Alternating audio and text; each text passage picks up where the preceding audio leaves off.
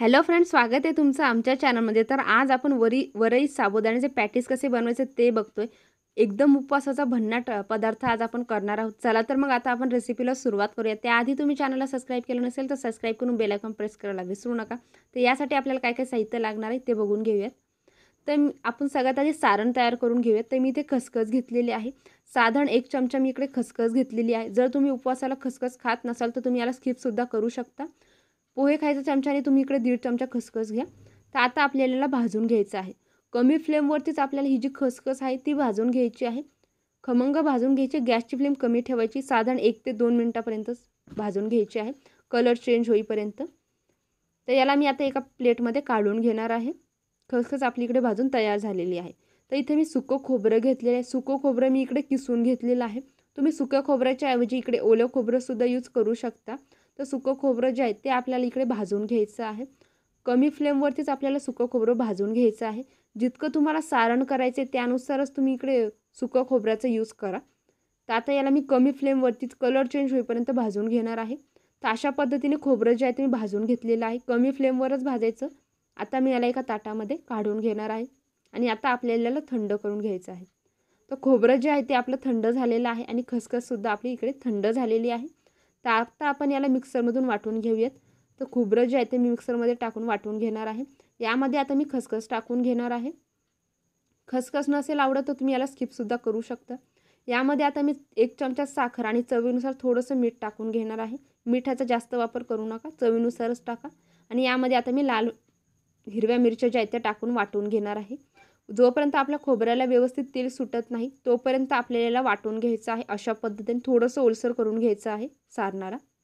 तर आता मी कढईमध्ये एक वाटी पाणी घेतलेलं आहे तर ते आपल्याला यामध्ये कढईमध्ये टाकून घ्यायचं आहे. आणि गॅसची फ्लेम जी आहे ती मी इथे कमी ठेवलेली आहे. कमी फ्लेमवरतीच टाकून घ्यायचं आहे पाण्याला उकळी काढून घ्यायची आहे. तर मी इथे भगर घेतलेलं आहे वरई घेतलेली साधारण या वाटीने मी अर्धी वाटी इकडे भगर घेतलेली आहे. भगरीचा आपल्याला भात तयार करून घ्यायचा आहे. जोपर्यंत आपलं पाणी उकळत उकळत आहे तोपर्यंत आपण भगर इकडे स्वच्छ धुवून घेऊयात. तर साधारण दोन वेळेस भगरीला स्वच्छ आपल्याला इकडे धुवून घ्यायचं आहे अशा पद्धतीने. एखाद्या वाटीचं तुम्ही इकडे मेजरमेंट सेट करा आणि त्यानुसार तिकडे इंग्रेडियंट्स वापरा. तर इथे मी एक वाटी पाणी घेतलं होतं त्यामध्ये मी अर्धी वाटी आता भगर टाकून घेणार आहे. पाणी उकळलेलं आहे आपलं उकळल्यानंतर यामध्ये भगर टाकून घ्यायची आहे. गॅसची फ्लेम कमीच ठेवायची आहे. हा जो भात आहे तो आपल्याला इकडे साधाच करायचा आहे. यामध्ये आपण तिखट मीठ काहीच यूज करणार नाही. साधाच आपल्याला भात तयार करून घ्यायचा आहे. कमी फ्लेमवरतीच आपल्याला इकडे भाताला शिजवून घ्यायचं आहे. एक ते दोन मिनटापर्यंत आपल्याला असंच हलवून घ्यायचं आहे. दोन मिनटापर्यंत अशाच पद्धतीने आपल्याला हलवून घ्यायचं आहे. गॅसची फ्लेम कमीच ठेवायची आहे. आता यावरती आपण झाकण ठेवून घेणार आहोत. तुमचं पाण्याचं जे मेजरमेंट आहे ते इकडे कमी जास्त होऊ शकतं. तर आता आपण यावरती झाकण ठेवून ठेवून घेऊयात. आणि एकच मिनटासाठी आपल्याला वाफ काढून घ्यायची एकच मिनटं ठेवायचं जास्त वेळ ठेवायचं नाही आहे आता इथे एक मिनिट झालेलं आहे आता मी याला काढून घेणार आहे. अशा पद्धतीचा भात आपल्या इकडे बनवून तयार झालेला आहे. तुम्ही आता या स्टेजला भाताला चेक करून बघा. जर तुमच्या भाताला बायचान्स पाणी जर कमी झालं असेल यामध्ये तुम्ही आणखीन पाणी ॲड करून त्याला परत व्यवस्थित परतून घ्या एक ते दोन मिनटापर्यंत. तर मी याला अशाच पद्धतीने दोन मिनटापर्यंत परतून घेणार आहे कमी फ्लेमवरतीच पाण्याचं मेजरमेंट तुमच्या इकडं कमी जास्त होऊ शकतो त्यामुळे तुम्ही भाताला इकडे व्यवस्थित चेक करून घ्या. तर अशा पद्धतीने पिठाचा गोळा आपल्या इकडे बनवून तयार झालेला आहे. आता मी याला एका परातीमध्ये काढून घेणार आहे. तर भगर जी आहे ती मी इकडे व्यवस्थित याला शिजवून घेतलेला आहे. आता आपल्याला याला थंड करून घ्यायचं आहे. वरईचा भात आपल्या इकडे तयार झालेला आहे. याला आता आपल्याला असंच थंड करून घ्यायचं आहे. थंड झाल्यानंतरच आपल्याला याला वापरायचं आहे. तर भगर जी आहे गाईस ती आपली इकडे थंड झालेली आहे. आता आपण याला साईडला ठेवून देऊयात. आणि इथे मी घेतलेला आहे साबुदाणा तुम्ही बघू शकता साधारण तीन ते चार तास मी याला साबुदाण्याला जे व्यवस्थित भिजत ठेवलेलं होतं चार तास आपल्याला साबुदाण्याला व्यवस्थित भिजत ठेवायचे. साबुदाण्याची खिचडी जशी करतो त्याच पद्धतीने आपल्याला साबुदाणा इकडे भिजवून घ्यायचा आहे. तर याच वाटीचं आपल्याला मेजरमेंट घ्यायचं आहे. साधारण इकडे दोन वाटी मी साबुदाणा भिजत टाकला होता. तर याच वाटीने मी अर्धी वाटी इकडे भगर घेतलेली आहे वरई घेतलेली आहे आणि एक वाटी इकडे मी भगर शिजवण्यासाठी इकडे पाणी घेतलेलं आहे. तर असंच आपल्याला इकडे मेजरमेंट घ्यायचं आहे. तुम्ही इथे एखाद्या वाटीचं मेजरमेंट सेट करा आणि त्यानुसारच इकडे इंग्रेडियंट्सचं वापरा. तर आता हा जो साबुदाणा आहे तो आपण भगरीमध्ये वरईमध्ये काढून घेऊयात. चमच्याने मी याला काढून घेतलेला आहे. आता इथे मी उकडलेले बटाटे घेतलेले आहेत. साधारण दोन मिडियम साईजचे बटाटे मी इकडे उकडून घेतलेले आहेत. आत्ता आपल्याला किसून घ्यायचं आहे. बटाट्याचं मेजरमेंट तुम्हाला इकडे लक्षात ठेवायचं आहे जास्त प्रमाणात आपल्याला बटाटे इकडे वापरायचे नाही आहे बटाटे तुम्ही हाताने स्मॅश करून सुद्धा यूज करू शकता पण त्याचे गुठळ्या राहतात खूप वेळ त्यामुळे किसून घ्या. यामध्ये आता मिरचीचा ठेचा मी टाकून घेणार आहे. दोन ते साधारण सात मिरच्या मी इकडे वापरलेल्या आहेत. चवीनुसार मिरच्या वापरा. थोडीशी यामध्ये साखर आणि चवीनुसार मी यामध्ये मीठ टाकून घेणार आहे. सारणामध्ये सुद्धा आपण मीठ टाकलेलं आहे थोडंसं. तर यामध्ये आपल्याला चवीनुसार मीठ टाकून घ्यायचं आहे. आता आपल्याला याला व्यवस्थित मिक्स करून घ्यायचं आहे. फक्त आपल्याला याला मिक्स करायचं आहे मळायचं नाही आहे यामध्ये आपण अजिबात पाण्याचा वापर करणार नाही सगळे जे इन्ग्रेडियंट्स आहेत ते आपल्याला इकडे व्यवस्थित मिक्स करून घ्यायचे आहे. शाबुदाण्याला आपल्याला हाताने खूप जास्त मॅश क मॅश करायचं नाही याची आपल्याला इकडे काळजी घ्यायची आहे. हाताने आपल्याला व्यवस्थित मिक्स करून घ्यायचं आहे. पिठाचा एक आपल्याला इकडे गोळा तयार करून घ्यायचा आहे. बटाट्याचं जे मेजरमेंट आहे गाईस ते तुम्ही इकडे व्यवस्थित लक्षात ठेवा. कारण की बटाट्याने आपली जी पारी आहेत पॅटिसची ती व्यवस्थित नाही जमणार. त्यामुळे बटाट्याचं मेजरमेंट लक्षात ठेवा. ज्या मेजरमेंटने इकडे बटाटे सांगितले तेच तुम्ही इकडे यूज करा. तर आता आपल्याला व्यवस्थित अशाच पद्धतीने मिक्स करून पिठाचा एक आपल्याला गोळा तयार करून घ्यायचा आहे. शाबुदाना आपल्या जास्त मॅश होणार नाही याची आपल्याला इकडे काळजी घ्यायची आहे. तर अशा पद्धतीने मी इथे गोळा तयार करून घेतलेला यामध्ये आपल्याला अजिबात पाण्याचा वापर करायचा नाही आहे तर आता आपला पिठाचा गोळा तयार आहे आणि आपला सारणसुद्धा इकडे तयार आहे. तर पॅटीस कसे बनवायचे ते बघूया. तर हातावरती आपल्याला एक पिठाचा गोळा घ्यायचा आणि त्याचा आपल्याला रोल करून घ्यायचा आहे व्यवस्थित. व्हिडिओमध्ये बघत तशा पद्धतीने. आता आपल्याला याची पारी तयार करून घ्यायची वाटी तयार करून घ्यायची आहे. जर माझं मिश्रण इकडे चिटकत नाही हाताला जर तुमचं चिटकत असेल तर तुम्ही हाताला थोडंसं तेल लावून घ्या किंवा तूप लावा जे तुम्ही खातात ते. उपवासाला.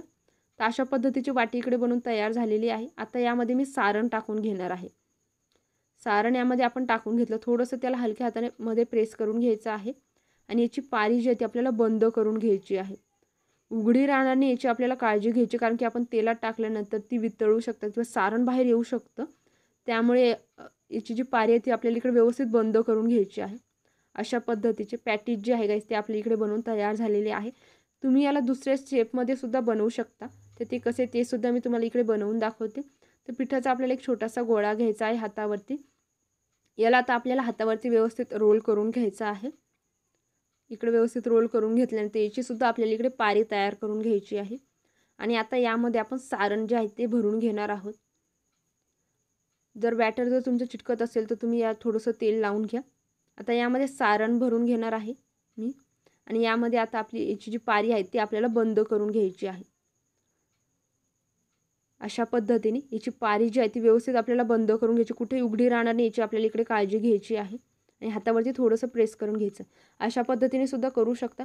पण शक्यतो अशा पद्धतीने करणे टाळा. कारण की खूप वेळेस काय होतं तेलामध्ये आपण याला तळायच्या वेळेस ते सुटू शकतात. सारण जे आहे ते तेलामध्ये वितळू शकतं. त्यामुळे जी पहिली पद्धत दाखवली त्याच पद्धतीने शक्यतो करा. तर अशा पद्धतीचे पॅटीस मी इकडे बनवून घेतलेले आहेत. आता याला तळायचं कसं ते बघून घेऊयात. तर तेल आपल्याला इकडे मिडियम गरा गरम करायचं आहे खूप जास्त गरम करायचं नाही आहे गॅसची फ्लेम इथे मी कमी ठेवलेली आहे. कमी फ्लेमवरती आपली जी पॅटीस आहेत ते आपल्याला तेलामध्ये टाकून घ्यायचे आहे. टाकल्या टाकल्या आपल्याला याला चमच्याने अजिबात धक्का लावायचा आणि ही खूप महत्त्वाची आपल्याला इकडे काळजी घ्यायची आहे.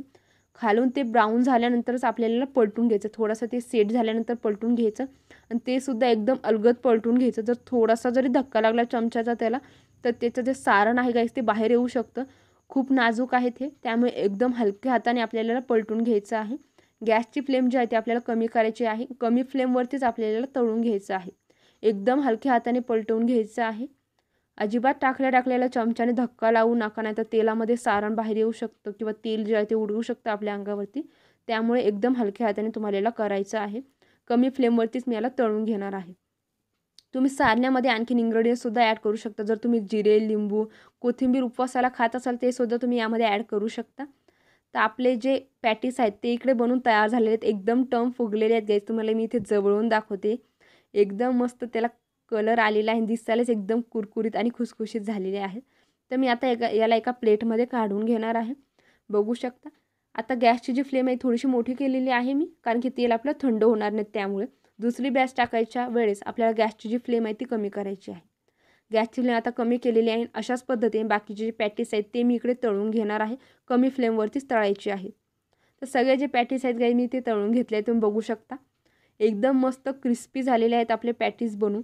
एकदम मस्त फुललेले आहेत. चवीला अप्रतिम लागतात. तुम्ही याला कशासोबतसुद्धा सर्व करू शकता. दह्यासोबत एक दह्याच्या चटणीसोबत हे खूप चविष्ट लागतं. तुम्हाला इथे मी एक मोडूनसुद्धा दाखवणार आहे. खूप साधी सोपी आणि खूप वेगळा पदार्थ आहे. उपवासाला अशा पद्धतीचे जे पॅटीस आहेत ते तुम्ही नक्की ट्राय करा.